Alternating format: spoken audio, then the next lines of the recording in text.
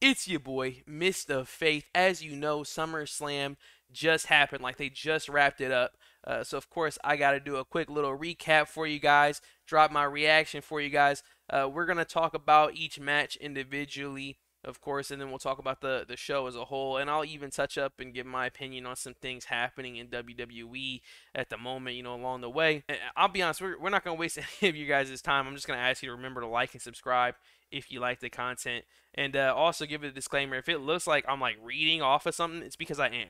So much happened in this episode of SummerSlam tonight that I had to take notes. Like I knew I was gonna do this recap, and about like three matches in, I was like, you know what, I should probably take notes. like that's it. It was already by that point you could just tell that it was gonna be a chaotic night, and it and it was. It was. I'm glad I took the notes. So before we even have a match, right? We see another promo from the same person we saw at Money in the Bank, and it was, but this time it was like I'm coming tonight, right? But you could kind of see like the like they tried to do like just an outline, but you could kind of see like details of the person's face and their hair and stuff. And I was like, "Yo, that looks like Edge to me." At first, at, at first when it was like I'm coming tonight, blah blah blah, I was like, "Okay, like it's probably gonna be because Riddle's injured, so it'll probably be someone just making their debut versus Seth Rollins." But then like I got thinking, I'm like, "And that looks like Edge, and that looks like like Edge's uh, like that just looks like Edge. you know what I'm saying? Like, hmm. And so, sure enough, it, it was. We find out later, and, and we'll get more into that later. But I, like, I don't think that they meant to be as obvious as they were. So I don't, I don't know how to really judge that. But first match of the night, Bianca Belair versus Becky Lynch. Honestly, this could have gone either way, and I could see WWE making a good storyline either way.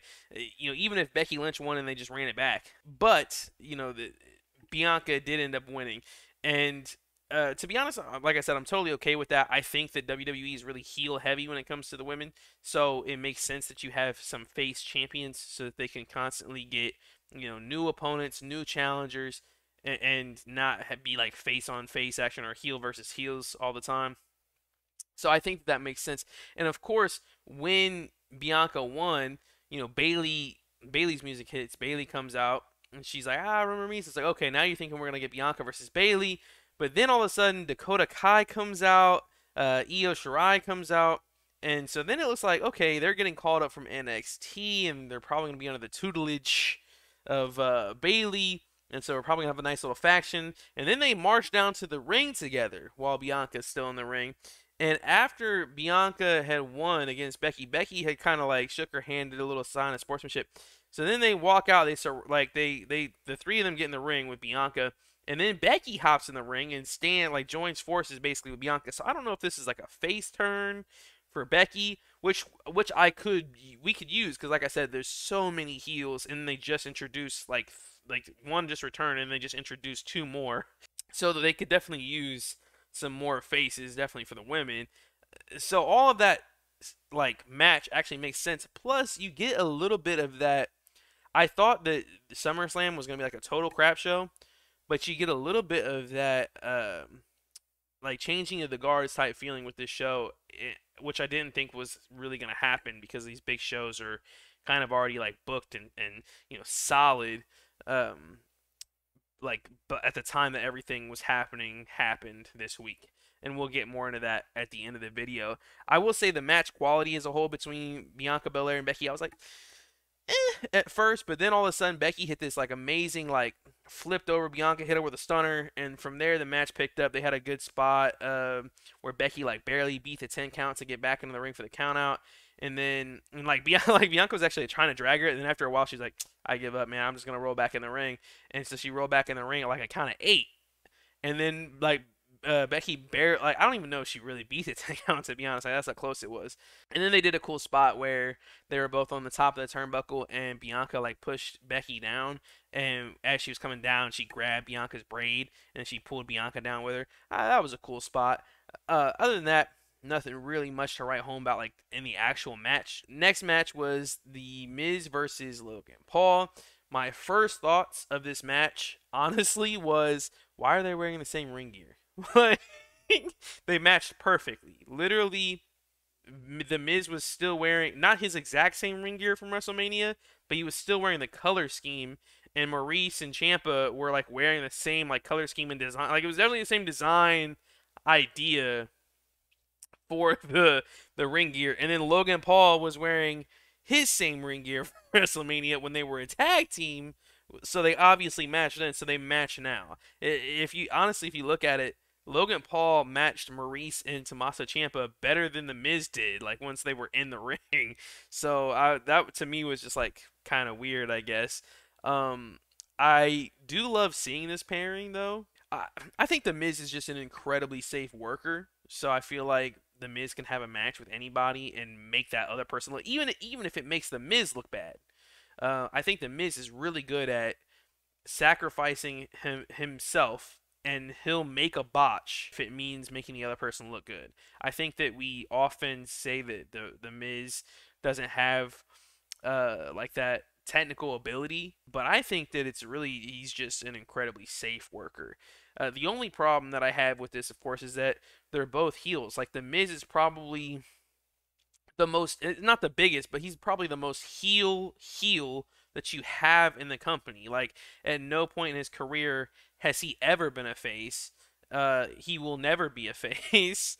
And people just absolutely love to hate him. And the only thing I can think is that WWE knows that and so they're putting Logan Paul against The Miz in order to make Logan Paul a face, even though, I mean, for him to be a face, it would take a miracle. Okay, he is also definitely going to be a heel. I hope that WWE realizes that and they maybe use this to kind of have the Miz take Logan Paul under his wing or something. I don't know, but uh, the whole heel on heel thing, uh, and and you can tell that they're trying to make Paul a face because they even have like AJ Styles come out in the match. At, one point, you know, Tommaso Ciampa starts to get too involved, so then AJ Styles comes out, you know, takes out Tommaso Ciampa. Uh, so they're definitely trying hard to push Logan as a face, but I just don't ever see it happening. That being said, though, so so um, after AJ Styles comes out, right? Uh, Logan Paul hits the Miz with a phenomenal forearm, and Corey Graves goes, "Oh, well, it's not a phenomenal. I wouldn't call that a phenomenal forearm, and a pretty good forearm, but I wouldn't call it a phenomenal one." And that just kind of cracked me up. I thought it was worth mentioning. Also, they had like a uh, an announce table spot. I wasn't expecting that on the second match of the night. Uh, just Logan Paul doing the frog splash like on the Miz through the announce table, and I did think it was cool that he uh, off the distraction, you know, he hit the Miz with his own like skull crushing finale, put him out of commish. I gotta say, YouTuber aside, like if you, and I think if anyone looks at this objectively, if Logan Paul wasn't a successful YouTube, let's not even let's not even say that. If Logan Paul wasn't a YouTuber and didn't have the reputation he had before entering WWE, if you just saw this 26, 27 year old person just now entering the ring, making their debut on WrestleMania, looking good in the debut, and then you know having a follow up match on SummerSlam, looking good in the follow up match, you would be highly interested in this person. You would definitely think that this person is like the future of WWE and all of that good stuff. So if he is going to be serious about this, this is the question that I think everyone has, and that the reason that people are doubting him so much if he is going to take this seriously, since he has officially been signed by WWE, I don't know what period of time he's been signed for is the thing, and I don't think anyone does. Um, I I can expect that since he's been actually signed by WWE, if he takes it seriously, he could have a long, successful WWE career. Uh, he definitely looks good in the ring. He's used to you know trash talking and stuff like that, so his promo work while it needs a little bit of polishing to be like at the WWE delivery style, you know, he's really ready. I think uh, his definitely his in ring work. His you know he's got a few things that he's he's worked on. You can tell, but then there's also a few things he hasn't worked on, and I don't really think he has his own finisher and things like that. So there are definitely aspects of his in ring work that need to be polished, but I think he's for his age and for his experience like wrestling, I think that he's phenomenal. And if he takes it seriously, he can probably be uh, pretty spectacular. Other than that, though, the, the match overall, I mean, it was like, eh, it, it, it wasn't bad, but it wasn't, like I said, two heel versus heel, I just wasn't very interested in it. Then we saw this weird promo with like Mansoor and some other person. They were like models and they were thirsty, and it was like a Pure Life water commercial, and LA Knight was in it. it. It was just weird. Like it was just straight up weird. But it was a good breakup between that match and then the following match, which was Austin Theory versus Bobby Lashley. Um, of course, Theory did ambush Bobby Lashley as he was getting in the ring with the briefcase, so I thought mm, maybe Theory has a, a super quick win and they give him the title and, and he has the title and the briefcase, and that could be interesting. No, it just angered Bobby Lashley even more. Uh, and this match went exactly the way that uh, you thought it should go. Really, the only way it could go was with Bobby Lashley winning, but not before he put Austin Theory through just enough punishment that you pretty much knew he wasn't going to be cashing in tonight. Like to think that you could have a match and then possibly cash in against Brock Lesnar and Roman Reigns on the same night uh, seems I don't know, kind of kind of weird, I guess. Uh, but he, you know, put him in the hurt lock and finished him off, and so it's kind of like, may there like there was there was still a possibility for him to cash in, but you pretty much knew like he's not cashing in tonight. Next match, was Judgment Day versus the Mysterios. And I didn't understand, like, the only thing that I have about this match is I didn't understand the no DQ, but you can only have one legal man concept. Like, if it's no, if it's truly no disqualification, right? like, especially as I'll, I'll kind of describe this to you guys, and you can kind of judge this for yourself. But if it's truly no disqualification, then why can't both men from each team be in the ring at the same time? doesn't make any sense to me at all. Like, oh, you're gonna get counted to five, and you guys are gonna be just. Oh wait, there's no disqualification. Well, you guys are just gonna lose the match. you know, both of you guys are in the ring at the same time. Like, it just doesn't make any sense. Um, the match though was actually a pretty good match. It started off hot, fast paced. The Mysterios, you know, were on top. Rey Mysterio at one point in the match did this springboard moonsault where he just like flew, like he he just he was he literally took flight. Like he I it wasn't even the fact that he got so much height off of it. It, it was so much distance and grace. It literally I was like I just the the one move like my eyes was like my eyes popped. You know what I'm saying? A lot of good stuff. Of course, uh, you know the match did end up slowing down to the Judgment Day's pace, and the Judgment Day were pretty much looking like they were going to win. And then the Mysterios had the classic good guy comeback, which Rhea Ripley basically snuffed. They were gonna do like the double six one nine or something like that and uh, Rhea Ripley tripped them both up. Uh, so they kind of just snuffed their comeback out, and then basically it was like just when you thought it was all over, you know, Edge, his music hits, right? Uh oh, the promo that we saw, the vignette that we saw, it's Edge. Surprise, surprise.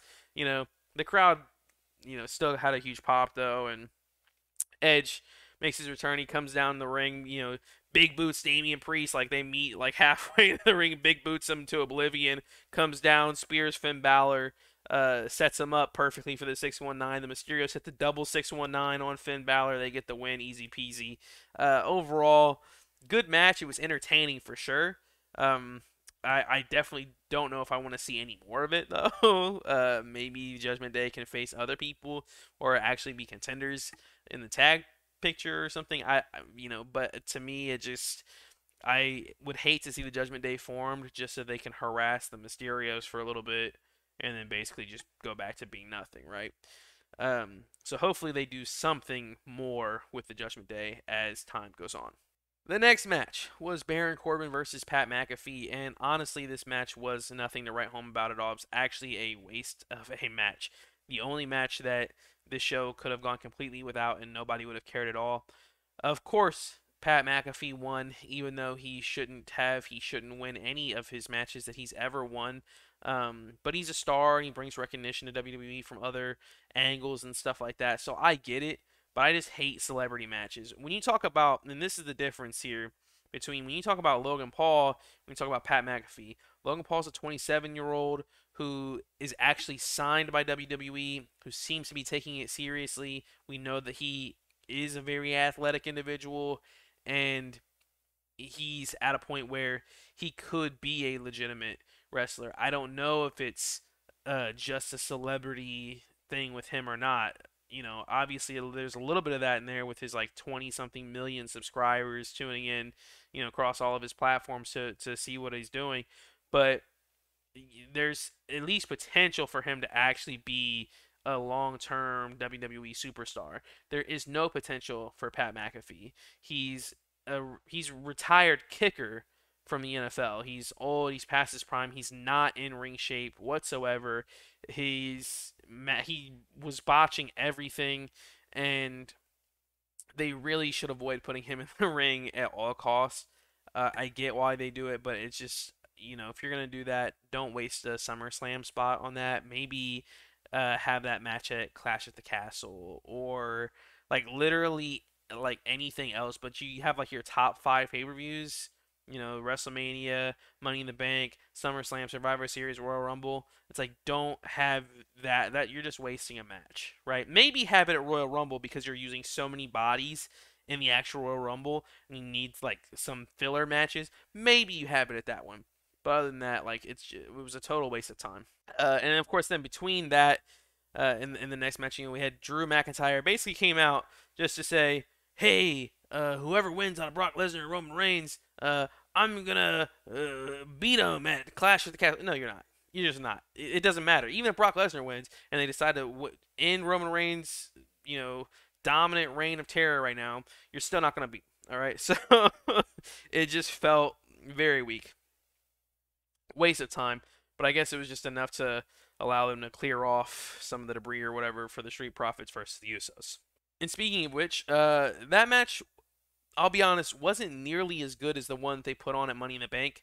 Um, probably because we knew uh, it had a special guest referee, which means that clearly there's going to be some sort of shenanigans. Like the special guest referees are always just more involved than they probably should be, and so for that fact alone, you know that it, like nothing's really going to change there, and also you just knew that the Usos weren't going to lose the title just yet.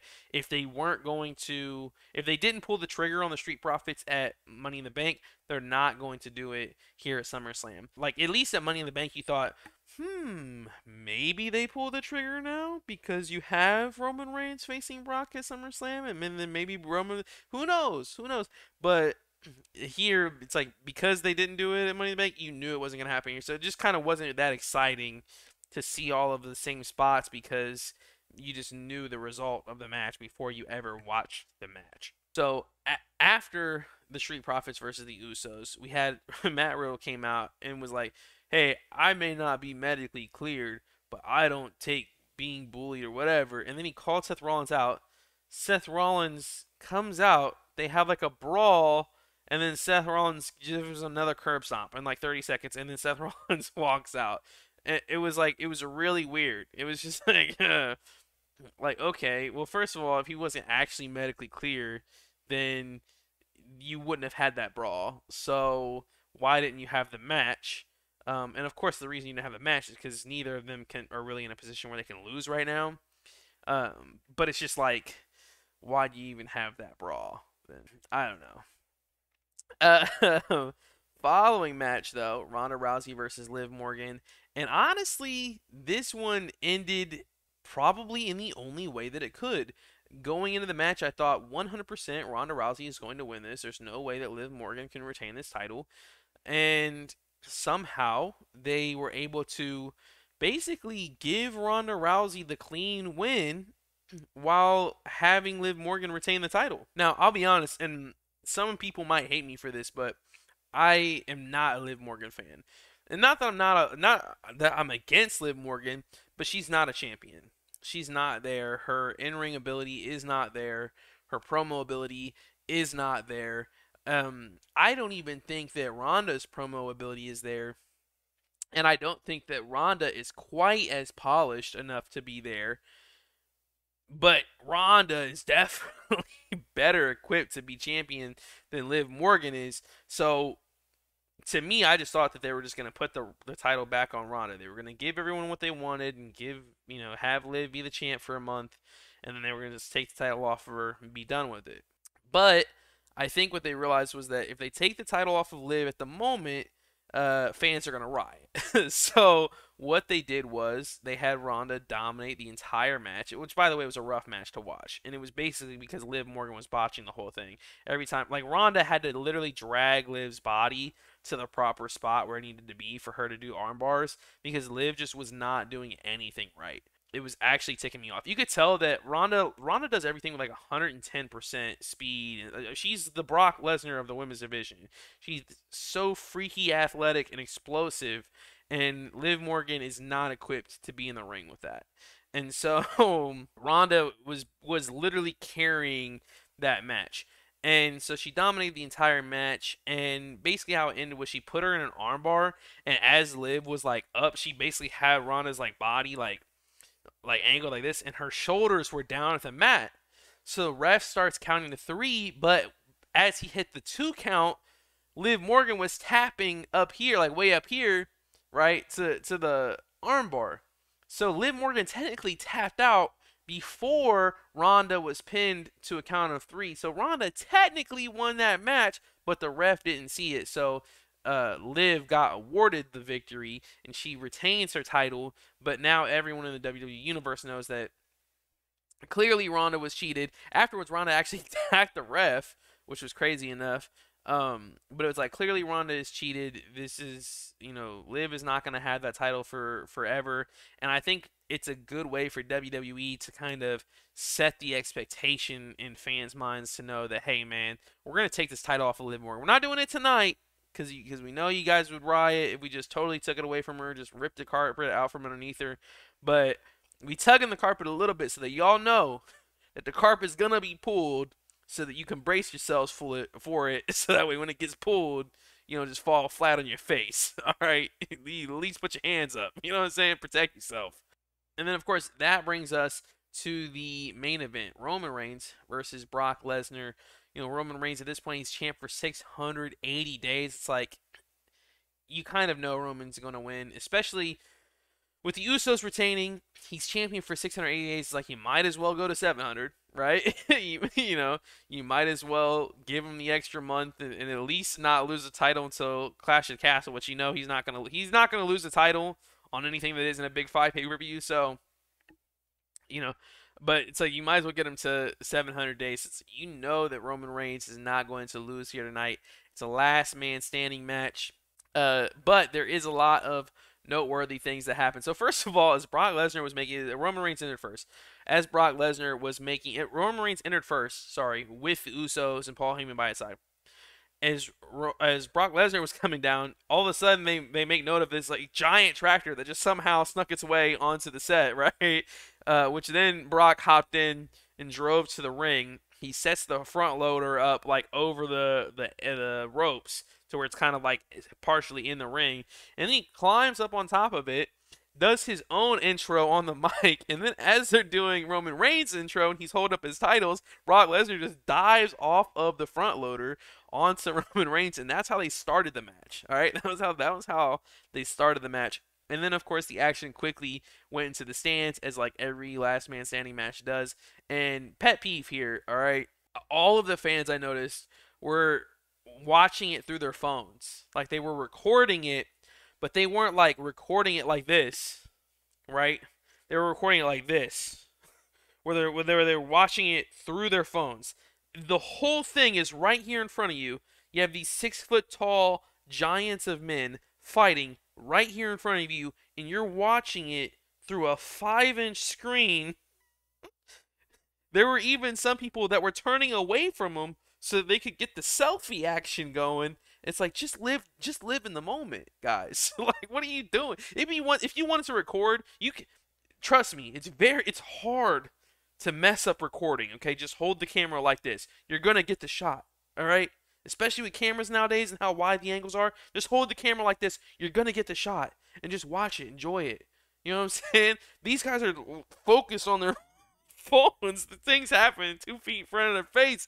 I don't understand it, man. I don't understand it. You do you know how expensive those tickets are, especially where those people were in the stands, right? Like in the front rows, in in the camera, because you know you pay more for being in camera view, right? So front row camera view or first three rows camera view, you're paying probably thousands of dollars for those tickets, probably a thousand dollars for those tickets, and you're sitting here watching like this through your phone, bro. Oh, sorry that now that that rant's out of the way. Uh, but yeah, the the match was actually pretty intense. Stuff that I've never seen before in my entire life. First of all, they had some of the most vicious like like table spots that I've seen in a while. Like not just like crashing through tables, like getting slammed through tables. Uh, like Brock Lesnar's back was like bleeding because he had been put through tables like there were like little chips of wood like going into his back. I mean, it was it was crazy. It was crazy. Um, and there was a one point in time where Brock had picked up a like a piece of a broken table that still had like the lace attached to it, and just whack, just nailed Roman Reigns like over the top of the dome with it. Um, and that wasn't even. That's not even where it started to get crazy. By far, the highlight of the night was at one point Brock gets back into the tractor while Roman's in the ring. He takes the, the front loader down, right?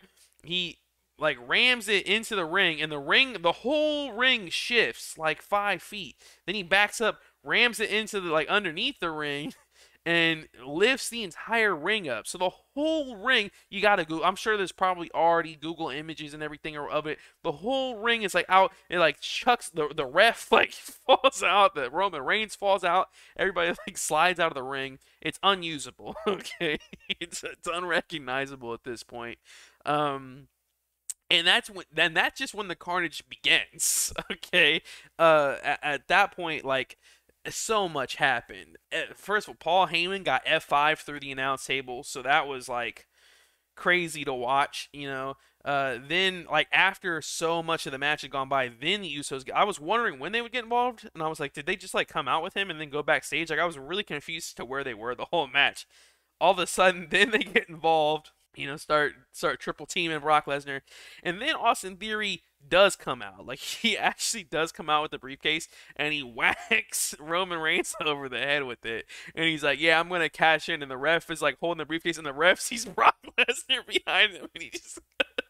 he goes, "Oh crap!" and he just drops the briefcase and runs, and and and Brock Lesnar by that point has already picked up uh, Austin Theory. Austin Theory's like, "Oh my god!" and he F5s him into oblivion, and we don't see Austin. I mean, we see his lifeless body, but we he doesn't move for the rest of the match.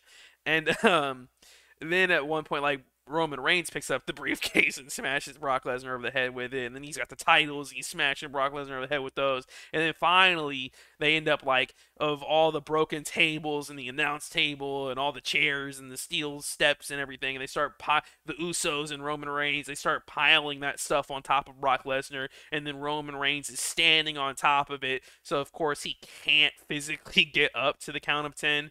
Um, and so you know that's how Roman Reigns ends up winning that match. It was entertaining. I'm not gonna lie. Um, the match as a whole, I, I will say this: I, it's like a part of me is like tired of seeing Roman Reigns versus Brock Lesnar because it's like you know like how many times are we gonna see Roman Reigns versus Brock Lesnar for the WWE Universal Title Championship Ultra Mega Title? Okay. Um, but at the same time, it's like, man, the, every time they put on such good quality championship main event caliber matches. Like it's just that nice, like slow, methodical pace, but still like destroying each other. And it's like they're one of uh you know two or three people that can do it. Maybe them and like Bobby Lashley or something like there's just not many people that can have that style of a match consistently and as good as they do it. They work so well together and you know, it, it's it's so entertaining every single time. So it's like a part of me is like tired of seeing them. But it's like another part of me is like, you know, honestly, they could do it again at Royal Rumble, and I wouldn't be too upset. um, all of that said, though, you know, SummerSlam, I thought SummerSlam was going to be a total crap show tonight because of everything happening with Vince McMahon retiring and then Triple H coming back all in the same week. Usually, you know, especially these big five shows, right? These things are pretty much like planned and booked and set in stone. Like, pardon injury, they're already like set in stone by time this week comes around. So, I wasn't expecting to really see much Triple H influence um, with this show, and I was basically, you know, not expecting to see much Vince McMahon influence either. I was expecting them basically just like throw these matches out there and not really give a crap about what happens in the storyline, and we're just gonna hit the reset button, you know, on Monday Night Raw.